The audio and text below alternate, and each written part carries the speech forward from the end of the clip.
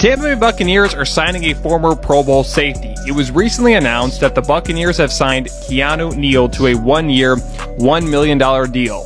Neal was with the Cowboys last season and played linebacker under Dan Quinn's defense. However, it was announced that he would return to playing safety where he had his most success in his career.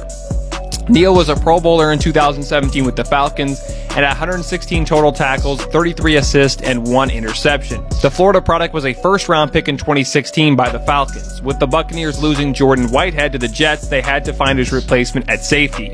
In addition to Tampa signing Neal, they have also re signed Blaine Gabbert and former Patriots, Titans, and Giants cornerback Logan Ryan. In other NFL news, the Houston Texans have awarded wide receiver Brandin Cooks to a massive extension.